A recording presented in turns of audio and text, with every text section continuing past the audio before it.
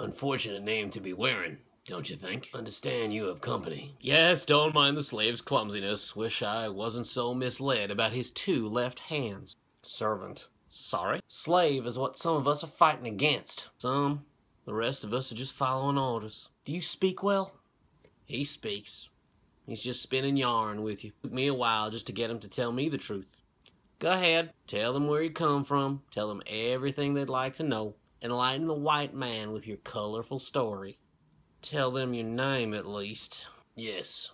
You have family? No name, no family, no past, no future. Seems you should get your house in order. Or were you sorting that out?